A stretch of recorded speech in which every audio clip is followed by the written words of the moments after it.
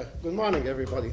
Thank you for inviting me. and honored. I knew, I know very well your university, and the, even the founder is my friend, Dr. Shili. So, uh, and this, the question is very, very good. Also, very good is what you are trying to do here. Uh, not to hear lectures, but to be interactive with us. So the idea for SEKEM, that that everybody know what SEKEM, what SEKEM is and what SEKEM means. Oh, we should have uh, shown you a film about SEKEM, but SEKEM is an initiative which started 30 years ago in Egypt. Before I lived for 25 years in Europe here, and then I visited my home country, uh, and I, I saw and experienced uh, the underdeveloped countries, how they are living, and compared to Europe. So I started thinking, and uh, after three years, I had a, a vision. Uh, and how ideas come up, perhaps I should tell you that uh, you can't go to a good idea when you are not in a, in a process of thinking. Thinking means uh, bringing the element of the life together to understand what does mean, what is, what is the meaning of life. And uh, so uh, after a while I got an ideal, an idea about how we can develop uh, underdeveloped countries. To put example on that, uh, and how we can maintain it, make it sustainable, not just to, to start enterprise, but how we can help people to raise their consciousness. Because you cannot do the good without having understand the life and the circumstances around you. So how we raise the consciousness that is only through Bildung. Bildung is the German grasp, and I hope that everybody understand it. That means uh, education, that means health, that means research. Uh, but if you want to do all of that, you need also to work and to involve the whole society. So the idea started like that. We start with uh, biodynamic agriculture in the desert. Uh, now we have about 800 farms around the country, from uh, the very north to the south and to the, in the oasis, where the people have learned how to grow crops, that is medicinal plant, uh, vegetable and fruits and cotton, how to grow it biodynamically. And out of this raw materials we are processing pharmaceutical products, uh, phytotherapy, and food, organic food, which we uh, export in all over the world and also in the local market. And uh, it happens that uh, 1992, we discovered that we have a lot of pesticides in our uh, organic material uh, because the government are dusting 35,000 tons of pesticides over the cotton yearly. Um, and so the research started with the government how we can uh, stop it, how we can make alternative for that, organic alternative. And after two attempts, two trials, we succeeded to have organic way of growing cotton. And so we, uh, we called for the first organic cotton conference in the world. And uh, at that time, the government stopped this dusting and adopted the new method of uh, organic cotton. That is now very well known around the world. In India and in the United States and everywhere, people are now growing cotton without pesticides.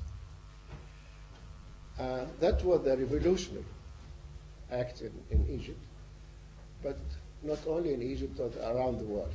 Then we discovered that when we have this wonderful fibers of cotton, people are adding another 200 chemicals on that to weave it and to spin it and to make clothes out of it. So another research period started also to replace all the chemicals through um, organic, through natural material. And so we, uh, we started the business of organic clothing.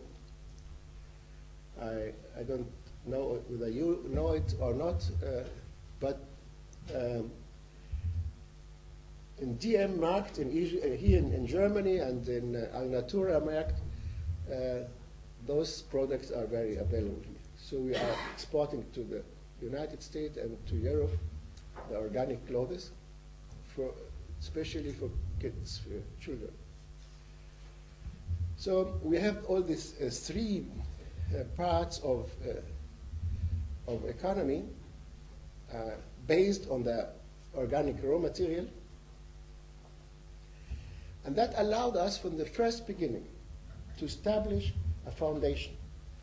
Because to build a living organization, people had to work and to learn. And this foundation started training the people who are working in, uh, in the different, uh, uh, different companies.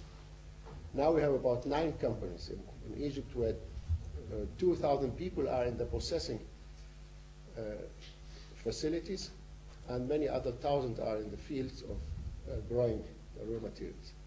And those must, the people must be trained to do their work properly and to raise their consciousness also. So that is the work of the foundation, and that foundation started also uh, kindergarten, schools, from primary to matrix to abitur, and a school for disabled children, and another vocational training center where we train the young, the young people in several vocations, from started from carpentry and from organic agriculture to um, electronic. Uh, so in this um, foundation, in the, in the educational part of the foundation, we have about 600 kids who are learning, added to the 2,000 who are working. And then we have a medical center that cares for the health of the worker, for the health of the children, and for the surrounding area. Around of Sekem in the, those 30 years, many small villages is now established so that uh, we are serving about 40,000 people yearly in, uh, in healthcare activities. So uh, um, we have also outreach programs to educate and train the people out, outside the, uh. And what is very, very important is this uh, uh, Academy for Art, Science and Technology. That was from the first beginning also established through the foundation where we uh, do interdisciplinary research, consortium research, also people from different disciplines are working together to uh, innovate new products, new ideas, even to innovate uh, contemporary art for the country. Um, that are the foundation that uh, serves the community. And we have another NGO, another Verein, that cares for human rights. Uh, so we have to train people also what is their right. And we have to work together with the government. Uh, so this organization uh, is one of the, in the beginning now it is well known, but uh, the beginning was very, very uh, unpleasant work for all of